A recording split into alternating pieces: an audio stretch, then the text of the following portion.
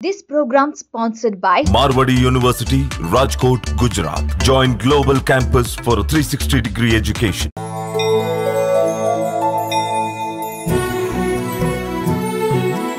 నమస్కారం మన సంస్కృతి కార్యక్రమానికి స్వాగతం నేను మీ విజిత ప్రస్తుతం నేనున్నాను శ్రీ ఉజ్జయిని మహంకాళి అమ్మవారి దేవస్థానం దగ్గర ఇక్కడ అమ్మవారి గొప్పతనం గురించి వైభవం గురించి చెప్పాలంటే మాటలు సరిపోవు.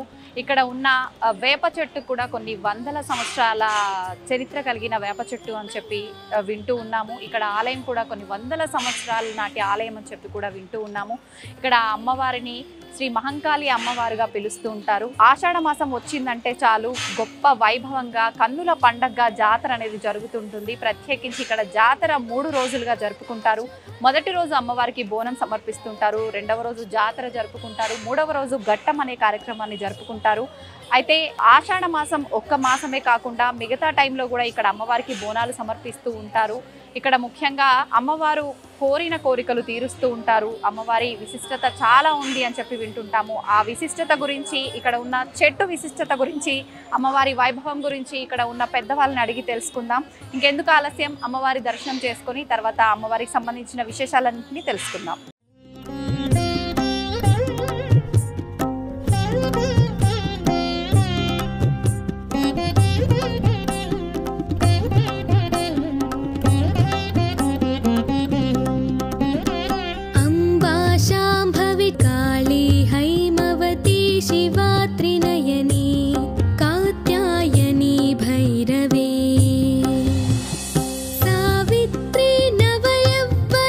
You. believe.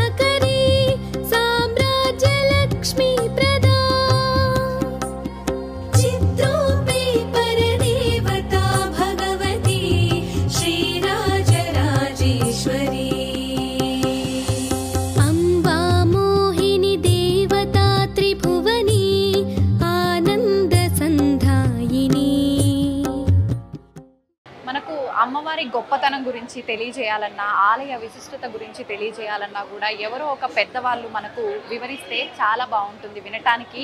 ప్లస్ మనకు ఆ విశిష్టత అంతా కూడా కరెక్ట్ రావాల్సిన ఇన్ఫర్మేషన్ అంతా వస్తుంది. అయితే ప్రస్తుతం నాతో పాటు ఉన్నారు మంత్రశాస్త్ర ఉపాసకులు బ్రహ్మశ్రీ శ్రీ వేణుమాధవ శర్మ గురువు గారు ఇప్పుడు స్వామితో మాట్లాడి అమ్మవారి విశిష్టత గురించి తెలుసుకుందాం. నమస్కారం స్వామి. స్వామి అమ్మవారు సుమారు చాలా కొన్ని వందల సంవత్సరాల నుంచి ఇక్కడ ఉన్నారని చెప్పి వింటూ ఉంటాం స్వామి. అసలు ఏంటి అమ్మవారి విశిష్టత ఏంటి? అమ్మవారు ఎప్పుడు స్థాపించబడ్డారు ఇక్కడ? మీ మాటలు. సత్యశ్చిన్న కృపాణకు గహ్యం హస్తైర్వరం గుకృతి ఘోరాస్యాం శిరసాసృజ సురుచిరా ఉన్ముక్త కేశావళి శృక్కయా శృక్రువాహం శ్మశాననిలయాం శృత్యో సర్వాలంకృతి శ్యామాంగీం కృతమేకలాం సర్వకరై దేగీం గజే కాళికాం శ్రీ మహాకాళింగా నమ. ఉజ్జయిని మహాకాళి ఆలయ దేవస్థానంలో ఉన్నాం మనం. భాగ్యనగరానికి అతి ప్రాచీనమైనటువంటి అతి ప్రసిద్ధమైనటువంటి అతి పురాతనమైనటువంటి రెండు వందల యాభై సంవత్సరాలుగా మహాకాళిగా మహా శక్తి స్వరూపుడిగా కొనియాడగడేటువంటి ఈ యొక్క జగన్మాత మహాకాళి అమ్మవారి విశిష్టత చాలా గొప్పది. రెండు వందల యాభై సంవత్సరాల క్రిందట ఆర్ ఆర్మీ గేరర్లందరూ కలిసి ఇక్కడ ప్రగలుతున్నటువంటి వ్యాధుల నుంచి ఆ తరువాత ఈ మసూచి కలరా మొదలైనటువంటి రోగాల నుంచి బయటపడడానికి ఉజ్జయిని స్థానంలో ఉన్నటువంటి జగన్మాతని వేడుకొనగా ఏమని వేడుకున్నారు వీళ్ళు? అమ్మా ఈ వ్యాధులేవి మమ్మల్ని బాధించకుండా ఉంటే నిన్ను తీసుకొచ్చి ఈ ప్రాంతంలో నిన్ను స్థాపన చేసుకుంటాం. ఆర్మీ గేరర్లు అలాగే డోలీ గేరర్లు అన్ని కులాల వాళ్ళు ఇక్కడ నివాసం ఉంటుండేవాళ్ళు. వాళ్ళందరినీ కూడా జగన్మాత మహాకాళి ఆశీర్వదించడం జరిగింది. ఆశీర్వదించిన దానికి గుర్తుగా భక్తులందరూ ఉజ్జయినికి వెళ్ళి జగన్మాతని యంత్ర స్వరూపిణిగా ఆ యొక్క మూర్తిని తీసుకొచ్చి ఇక్కడ అమ్మవారిని స్థాపన చేయడం జరిగింది. అదే సమయంలో ఇక్కడ వేక చెట్టు ఏదైతే అమ్మవారి స్వరూపంగా భావన చేస్తారో కొంతకాలం అక్కడ ఉంచడం వల్ల దాన్ని కూడా అమ్మవారిగా భావన చేసి ఇక్కడ పూజలు జరుగుతూ ఉంటాయి. అయితే ప్రధానమైనటువంటి ఆలయంలో స్థాపన చేయడం ఇక్కడ ఉన్నటువంటి కులాల వాళ్ళందరూ కలిసికట్టుగా అమ్మవారికి ఆషాఢ మాసం వస్తూనే అమ్మవారిని జగన్మాతని ఆడగిడ్డగా భావించి ఈ యొక్క జాతర కార్యక్రమం మొదలుపెట్టి చేస్తూ ఉంటారు. ఇక్కడ లష్కర్ గోనాలుగా మొట్టమొదటి కృషి ప్రసిద్ధికి దేవాలయం ఈ జంట నగరాల్లో మహాకాళి దేవస్థానం మాత్రమే. ఆనాడు అమ్మవారిని స్థాపన చేసిన తర్వాత ఆషాఢ మాసంలో కురగలిగేటువంటి వ్యాధుల గారి నుండి బయటపడడానికి జగన్మాతని ఆషాఢ మాసంలో కొలుకులు చేయడం చాలా విశేషం. వర్ష ఋతువు ప్రవేశిస్తూనే రోగాలు రావడం వ్యాధులు కురగలడం జరుగుతుంటాయి కాబట్టి జగన్మాతని ఇక్కడ స్థాపన చేసి అమ్మవారి యొక్క ఆశీర్వాదం పొందడం కోసం పదహారు రోజులు ఇక్కడ జాతర జరుగుతుంది. ఆషాఢం వచ్చిన మొట్టమొదటి ఆదివారం నాడు ఘట స్వరూపిణిగా భావన చేసి కొలింగేర్లు బంధన చేసి అమ్మవారిని గ్రామంలోకి తీసుకొస్తారు.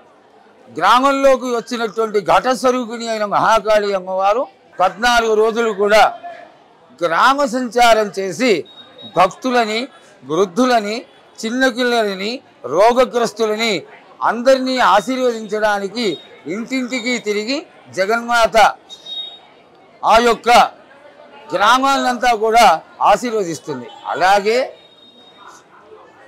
ఈ యొక్క పదిహేనవ రోజున తెల్లవారుజామున నాలుగు గంటలకి అసలైనటువంటి జాతర మొదలవుతుంది. మొదటి మంగళహారతితో నగర పెద్దలందరూ చూస్తూ ఉండగా అమ్మవారి యొక్క మహా ద్వారాలు తెరుచుకొని అమ్మవారికి మొట్టమొదటి పూజ మొదలవుతుంది. ఈ మొట్టమొదటి పూజ నలభై ఎనిమిది గంటల వరకు అలా భక్తులందరి సందోహంతో అలా కొనసాగుతూనే ఉంటుంది. ఇక్కడ విశేషం ఏమిటంటే ఆడవాళ్ళందరూ తలస్నానాలు చేసి గోనాల్ని శిరస్సుగా కొట్టుకుని అమ్మవారి ఆలయానికి తీసుకురావడం విశేషం. ఈ గోనంలో కాయసాన్ని వండి దానిపైన శాఖలు పెట్టి దానిపైన గండదీకం పెట్టి ఏక మండలు కట్టి తీసుకొచ్చి అమ్మవారికి వాళ్ళ యొక్క భక్తి శ్రద్ధల్ని తెలియజేసుకుంటారు. అదేవిధంగా జగన్మాత అయినటువంటి మహాకాళి అమ్మవారిని ఆడగిడ్డగా భావన చేసి పసుపు కుంకుమలు గాజులు చీరలు సారెలు ఒడిగియాలు సమర్పించుకుంటారు. ఈ పదిహేను రోజుల విశిష్టత ఈ విధంగా ఉండగా సాయంత్రం వరకు ఆదివారం మూడో ఆదివారం సాయంత్రం వరకు ఈ గోణాలు సమర్పించుకోవడం సాయంత్రము పూర్వకాలం ఎడ్ల గంటలు కట్టి పలహారం గంటలు తీసుకొని కోతరాజు విన్యాసాలు చేస్తూ మేళతాళాలతో వచ్చి అమ్మవారిని దర్శించుకునేవారు రాత్రి పన్నెండు పన్నెండున్నర సమయంలో అమ్మవారికి విశేషమైనటువంటి కాళరాత్ర పూజ యథావిధిగా ఆ ఏడు తరాల క్రిందట ఏ విధంగా జరిగేదో అంతటి ప్రాశస్యంతో అమ్మవారికి పూజ జరగడం అదే సమయంలో చెలకుండా పచ్చికుండా వీటిని మేళతాళాలతో తీసుకొస్తారు మర్నాడు పొద్దున అంటే సోమవారం నాడు జోగిని అనేటువంటి ఒక స్త్రీ కొరికి అమ్మవారు ఆవహించడం జరుగుతుంది. అదే భవిష్యవాణి.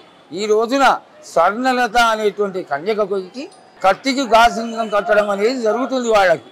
అటువంటి స్త్రీని భక్తి కృగతులతో ఉన్నటువంటి అమ్మాయిని తీసుకొచ్చి ఈ కత్తికుండకైనా నిలగెట్టి రంగం చెక్కిస్తారు రంగం అనేటువంటి కార్యక్రమం అది. కచ్చికుండకైన నిలబడి అమ్మవారు భవిష్యత్తును తెలియచేస్తుంది. అమ్మవారు వెళ్ళిపోయిన తర్వాత కుండ ముక్కలైపోతుంది. ఇది అమ్మవారి యొక్క సాన్నిధ్యానికి నిదర్శనంగా తెలంగాణ ప్రజలందరూ నమ్ముతారు.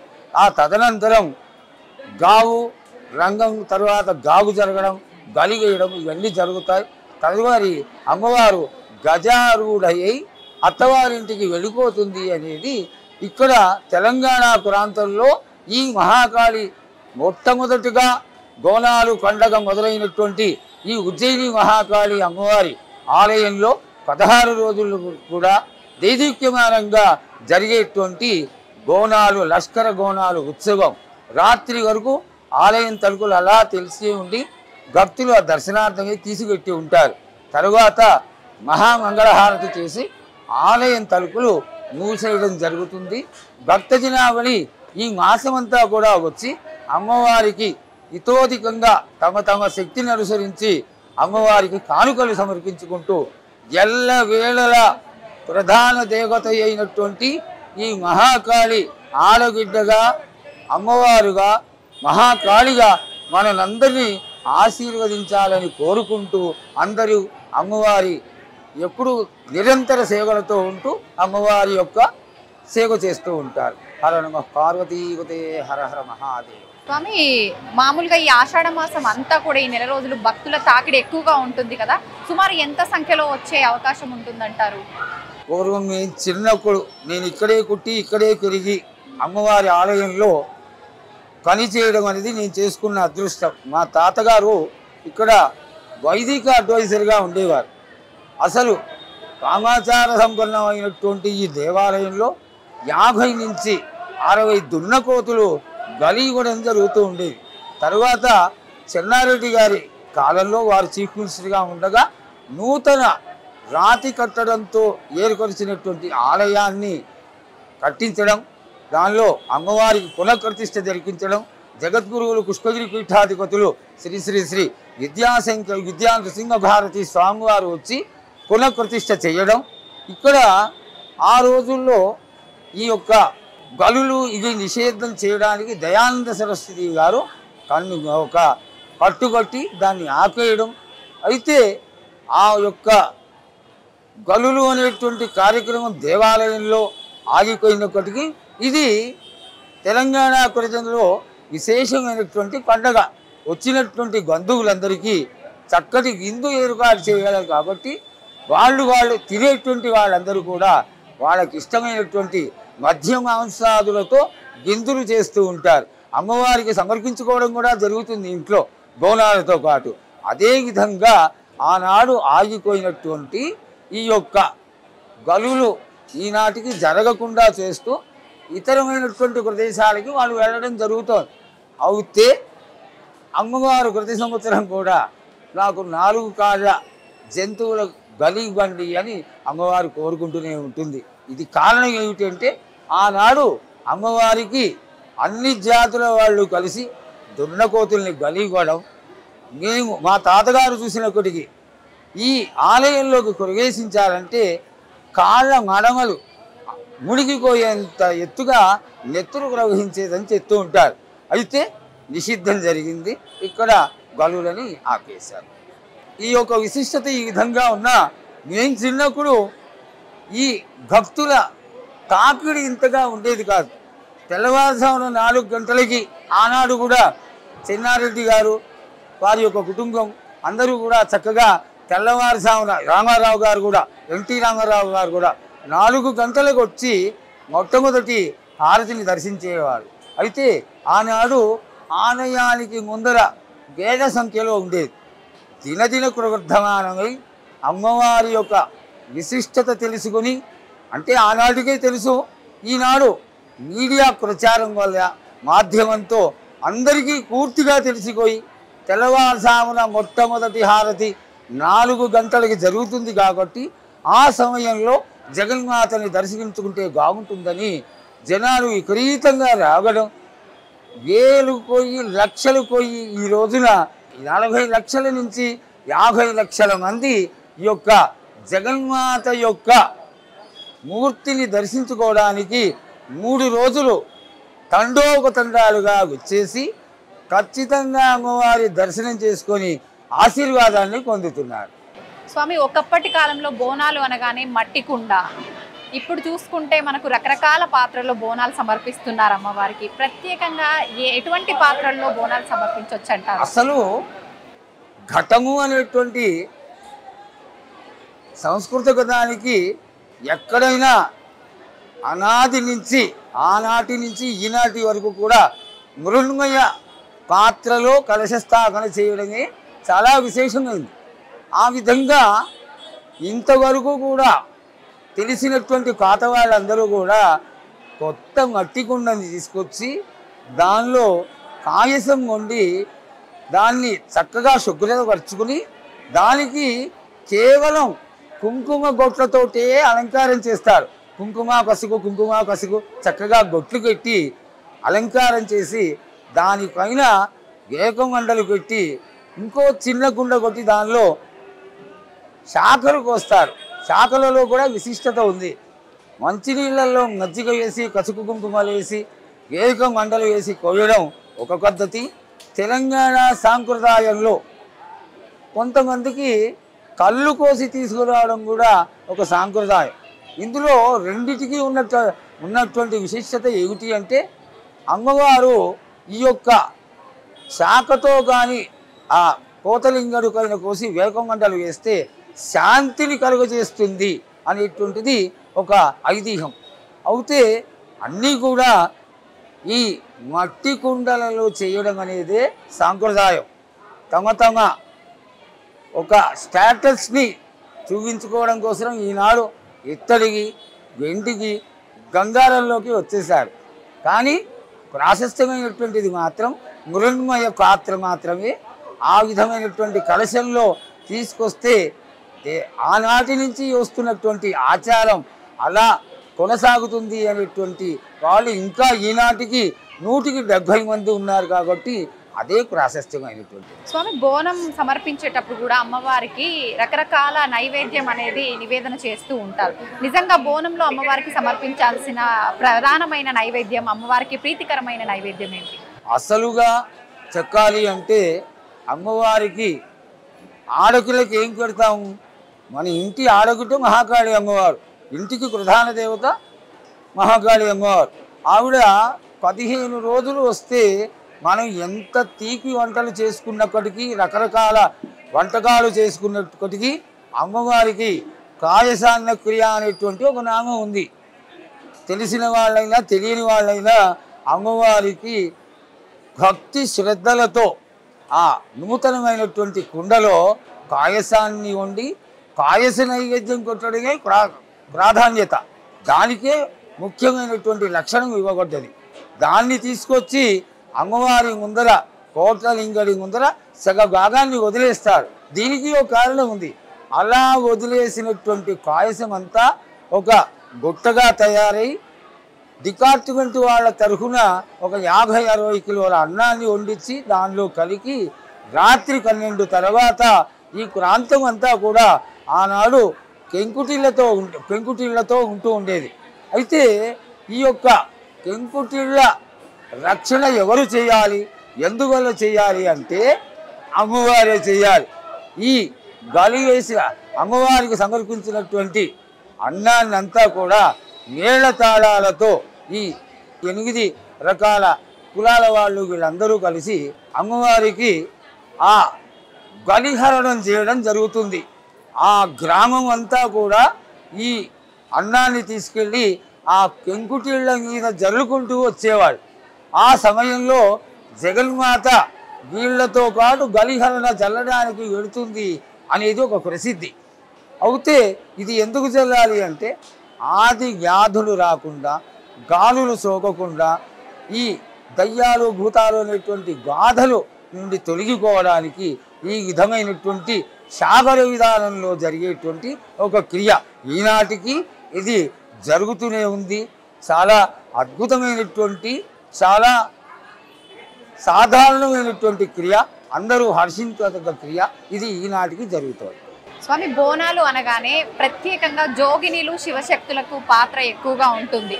ఎందుకని స్వామీజీ? అంత ప్రముఖ పాత్ర ఎందుకు? అసలుగా ఈ గోనాలు పూర్వకాలంలో విశేషంగా ప్రతి ఇంట్లో సాధారణంగా వండినటువంటి ఈ గోనాన్ని ఆ ఇంట్లో ఉన్నటువంటి పెద్ద ముత్తైదువుకి తలస్నానం చేసుకొని ఆవిడ కట్టుచీర కట్టుకొని మొహానికి కసుగు రాసుకొని గొట్లు కట్టుకొని ఎంతో సంతోషంగా ఆడబిడ్డకి గోనాలు తీసుకెళ్తాము అనేటువంటి భావనతో ప్రతి ఇంటి నుంచి తీసుకురావడం జరిగేది.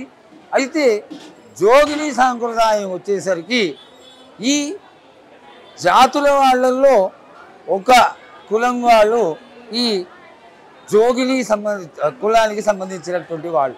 వాళ్ళలో ఉన్నటువంటి ఒక అమ్మాయికే ఈ రంగం కార్యక్రమం చేయడానికి అర్హత. పసుపు కుంకం వేసి బండారు వేసి ఆ పిల్లని నిలబెడతారు ఆ పిల్లే ఎన్ని తరాలైనప్పటికీ కూడా చక్కగా ఆమెనే అమ్మవారి సేవలో ఉంటూ భవిష్యవాణిని తెలియజేస్తూ ఉంటుంది.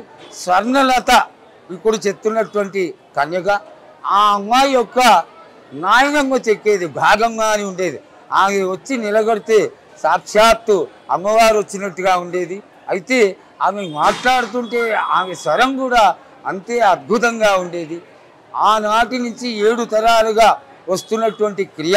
ఈనాడు సమయం జనం సరిపోక వాళ్ళ వాళ్ళుగా జోగిలుగా ప్రచారం శివశక్తులుగా ప్రచారం ఉన్నటువంటి వాళ్ళందరూ కూడా ఈ ఆలయానికి ఈ జాతర సమయంలో బోనాలు సమర్పించుకోవడం మేళతాళాలతో రావడం ఇదొక శోభాయమానమైనటువంటి వాతావరణంగా మారడం. అమ్మవారు కృతి. ఈ యొక్క వీధుల్లో ఎక్కడ చూసినా అమ్మవారు తాండవం ఆడుతుందా అన్నంత ఆనందంగా ఉండడం ఈ యొక్క లష్కర్ గోనాల పండగకి మరింత శోభని తెచ్చిపెడుతూ జాతర దేదీక్యమానమై దినదిన ప్రవర్ధమానమై ద్విగుణీకృతమై ఈనాడు నలభై లక్షల నుంచి యాభై లక్షల మంది- మంది వరకు అమ్మవారి దర్శనం చేసుకుంటున్నారు. స్వామి బోనాలు అనగానే మనకు ముఖ్యంగా పోతురాజుల విన్యాసాలు ఎక్కువగా చూస్తుంటాం. ఏంటి స్వామి పోతురాజుల పాత్ర ఏంటి? ఎందుకు అంత ప్రముఖ పాత్ర వాళ్ళకి? సహజంగా చెప్పాలి అంటే ఈ అమ్మవారు మహాకాళి అమ్మవారితో సహా ఏడుగురు అక్క చెల్లెళ్ళు. వీళ్ళకి ఒక సోదరుడు ఉన్నాడు. ఆయననే మల్లన్నగా అభివర్ణిస్తారు. ఆ మల్లన్ని కోతరాజుగా భావన. ఈ మల్లన్నని సాయంకాలం ఈ యొక్క కళారంగంట్లు ఎడ్లగొండలో తీసుకొచ్చేవాళ్ళు ఆ రోజు. ఎడ్లగొండలకి వేకాకులు మామిడి గుంటలు అన్నీ కట్టి పక్కు బెల్లాలు కలహారాలు అన్నీ తీసుకొచ్చి వారి యొక్క లక్ష్యం ఏమిటి అంటే ఆడబిడ్డకి సమర్పించుకుంటున్నామని. ఈ కోతరాజు ఎలా వస్తాడు? ఒంటి నిండా పసుపు రాసుకొని నుదుటి నిండా కుంభం పెట్టుకొని చేతిలో వీర గోడలు కట్టుకొని వీర విన్యాసం చేస్తూ మేళ తాళాలతో వచ్చి జగన్మాత దర్శనం చేసుకొని జన్మ పావనమైందిగా భావన చేసి ఈ యొక్క జాతర విశిష్టతని సాయంకాలంగా తెలియజేస్తూ ప్రతి జాతరలో ఆదివారం సాయంత్రం అమ్మవారికి ఈ కోతరాజు విన్యాసాలతో పలహారం కొండు రావడం ఒక ప్రాధాన్యత. స్వామి బోనాల పండుగని బోనం ఇంట్లో నుంచి తీయటము ఎవరైనా చేసుకోవచ్చా? అది మన సాంప్రదాయం ఆచారం ఉంటేనే ఇది చేసుకోవచ్చు సాంప్రదాయం కాదు శాస్త్రము కాదు ఇది వేడుక. ఈ వేడుకలో విశేషం ఏమిటి? ఆడబిడ్డకి సమర్పించుకుంటున్నటువంటి కమ్మటి తీయటి భోజనం మాత్రమే. అది ఇష్టపూర్వకంగా ప్రేమతో సొంత ఆడబిడ్డకి కనగడంగానే ఎలా మిఠాయిలు అవి కలిసి పెడతామో అదే ఆనందంతో ఈ యొక్క పాయసాన్ని సమర్పించడం బోనాల స్వరూపంగా ఆచారం. ఇది ఖచ్చితంగా శాస్త్రం కాదు వేడుక మాత్రమే. వేడుక మాత్రమే. ఎవరైనా జరుపుకోవచ్చు. అందరూ అన్ని కులాల వాళ్ళు చేసుకునేదైతే ఒక చక్కటి పూజ ఇది. బ్రాహ్మణులు బ్రాహ్మణేతరులు చిన్నవాళ్ళు పెద్దవాళ్ళు కుల కులమత గేజాలు లేకుండా తెలంగాణలో ఉన్నటువంటి యాభై మంది కూడా ప్రతి ఒక్కరు చేసుకునేటువంటి పండగ ఇది. స్వామి చాలా వరకు బోనాలు అనగానే ఆషాఢ మాసంలో మాత్రమే ఎక్కువగా చేస్తూ ఉంటారు. కొంతమంది మొక్కుకుంటూ ఉంటారు. అలా మొక్కుకున్నప్పుడు నార్మల్ టైంలో కూడా అమ్మవారికి బోనాలు సమర్పించవచ్చు? మూడు వందల అరవై ఐదు రోజులు కూడా బోనాలు చేయవచ్చు. తిథి వార నక్షత్రాలు లేకుండా చేసుకోవచ్చు. దీనికి వైశిష్ట్యం ఏమీ లేదు. తమకి ఆనందం కలిగి తమ మొక్కులు తీరి సంతోషంగా ఉన్నటువంటి సమయంలో బోనాలు చేసుకోవచ్చు. స్వామి ఇందాక మనం మాట్లాడుకున్నాం కొన్ని వందల సంవత్సరాల విశిష్టత కలిగిన వేప చెట్టు అని చెప్పి. ఆ చెట్టు విశిష్టత గురించి తెలియజేయండి స్వామి. జగన్మాత పదమూడవ సంవత్సరంలో సికింద్రాబాద్ నగరానికి ప్రవేశించడమే ఈ ఆలయ సాన్నిధ్యంలో అమ్మవారిని కట్టడం జరిగింది. అసలు సాంప్రదాయంలో వేకాకులకి వేక చెట్లకి వేక చెట్లలో ఉన్నటువంటి ప్రాధాన్యత ఏమిటి అంటే ఆకు ఆకు కూడా అమ్మవారి స్వరూపంగా భావన చేస్తారు. అసలు యావత్ తెలంగాణ కూడా ఈ యొక్క జాతర విశేషంలో ఏకాకు కట్టని ఇల్లు కానీ ఆలయం కానీ ఉండవు. ఇండైరెక్ట్గా చెప్పాలంటే సైంటిఫిక్గా ఏకాకు బ్యాక్టీరియా కిల్లింగ్. దేవతగా భావన చేస్తూ ఈ వేకాకులు ఎప్పుడైతే మన ఇళ్ళ ముందర ఉండి మనకి ఒక అలంకార వస్తువుగా అమ్మవారికి ఉండి మనని కాపాడుతుందో దాని వెనకాల ఆంతర్యం ఏమిటంటే రోగాల నుండి మనని అందరినీ ఈ యొక్క ఏకస్వరూపిణిగా అమ్మవారు మనల్ని ఆశీర్వదిస్తోంది. అయితే ఇక్కడ విశేషం ఏమిటంటే అమ్మవారు వచ్చే నాటికి ఈ యొక్క జగన్మాత అమ్మవారు ఏక చెట్టు స్వరూపంలో ఉండడం రెండు వందల యాభై సంవత్సరాలుగా ఈ యొక్క జగన్మాత దినదిన కృవర్ధమానమై ఈనాడు జియాలజికల్ సర్వేలో కూడా అమ్మవారికి ఈ చెట్ల విశిష్టతలో పిహెచ్డి చదువుకునే వాళ్ళకి వాళ్ళందరికీ కూడా ఈ వేగ చెట్టు మహాకాళి ఉజ్జయిని మహాకాళి అమ్మవారి దేవస్థానంలో ఉన్నటువంటి అమ్మవారి వేగ చెట్టు రెఫరెన్స్గా ఉండి అందరి యొక్క మన్ననలను పొందుతూ వచ్చే వాళ్ళందరూ కూడా ఇక్కడే అమ్మవారు ఉంది అనేటువంటి భావనతో అందరూ ఈ అమ్మవారి యొక్క ఆశీర్వాదం పొందుతూ ఉంటారు. సంతోషం స్వామి నిజంగా అమ్మవారి గొప్పతనం గురించి చెట్టు యొక్క విశిష్టత గురించి మీ మాటల్లో వినడం నా అదృష్టంగా భావిస్తున్నాను స్వామీజీ. ధన్యవాదాలు.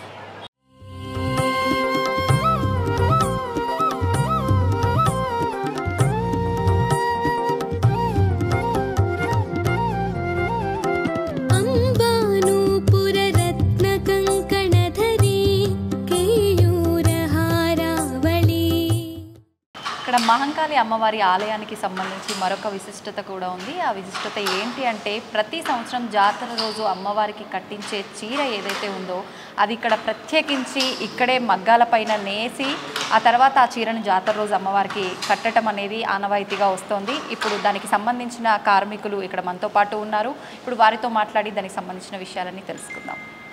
నమస్కారం నమస్కారం. సార్ చెప్పండి ఎన్ని సంవత్సరాలుగా ఇక్కడ అమ్మవారికి చీరలు నేయటం అనేది జరుగుతుంది? మనం నార్మల్గా చీరలు నేసిన దానికన్నా ఒక అమ్మవారికి అమ్మలగన్నా అమ్మే అమ్మవారు అమ్మవారికే చీరలు నేయటము అనేది మామూలు విషయం కాదు. ఎలా అనిపిస్తుంది సార్ మీకు? చాలా సంతోషం అనిపిస్తుంది. మేము ముఖ్యంగా ఏంటంటే ఈ యొక్క భారతదేశం సంస్కృతి సాంప్రదాయాలటువంటి పుట్టినిల్లు అలాంటి సాంప్రదాయకటువంటి దేశంలో మా యొక్క పద్మశాలీల వంశము ఆ యొక్క వంశము గతంలో దేవతలకు వస్త్రాలు నేసినటువంటి చరిత్ర గల వంశము.